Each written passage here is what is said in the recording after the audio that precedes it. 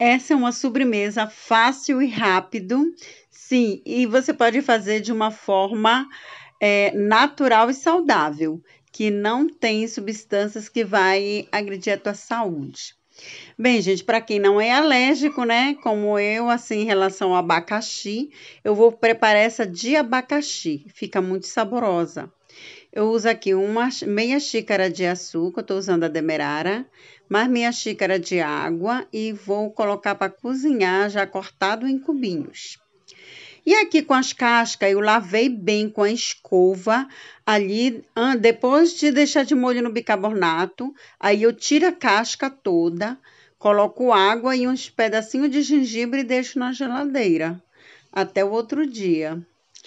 E é ótimo para a saúde, para o estômago. E às vezes eu bato no outro dia e faço suco com hortelãzinho, fica uma delícia. Vocês gostam? E aqui, gente, a sobremesa. Vamos lá.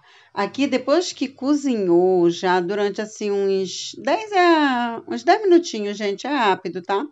Aí eu já separo ali a fruta e nessa calda eu vou preparar agora um creme bem gostoso.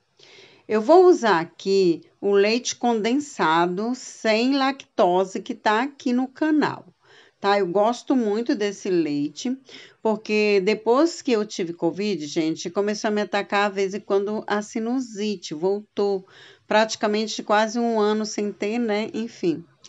E aí eu já prefiro esse sem lactose que eu preparo, creme de leite, né? Quantidades: 200 gramas de creme de leite também tem aqui no canal para você fazer sem lactose e 300 gramas de leite condensado. E aí eu misturei tudo aqui os três, tá? O leite condensado, creme de leite, se você usa normal, é só colocar uma caixinha de cada. E aqui, amores, eu vou colocar é, tipo 5 colheres de amido de milho, tá bom? Bem cheia. Que aí deu essa xícara ali, né? E aí mistura tudo aqui. Eu vou querer ele bem, bem firmezinho. Se você querer, quiser ele mais é, como um creme, mais mesmo depois de gelado, aí você coloca só três colheres de amido de milho, tá? Que é a, a famosa maisena.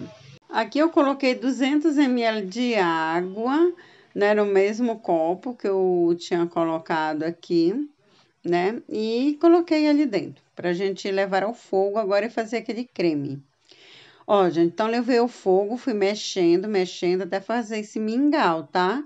Esse mingau tem que ficar bem grosso mesmo, assim. Eu gosto assim, gente, tá?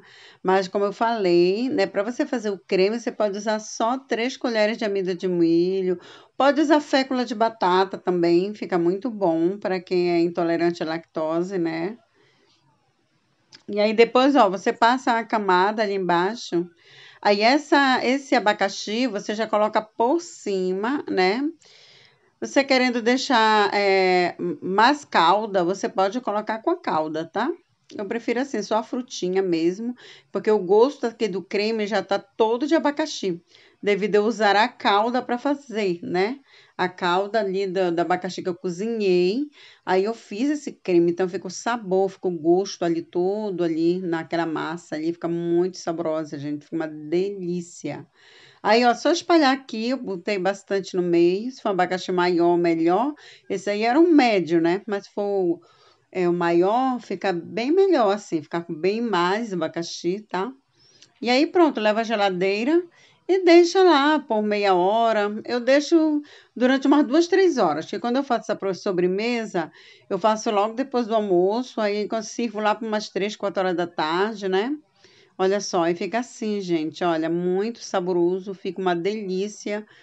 Muito gostoso mesmo. Façam, vocês vão amar e vocês podem fazer de uma forma saudável, sem glúten, sem lactose, tá bom?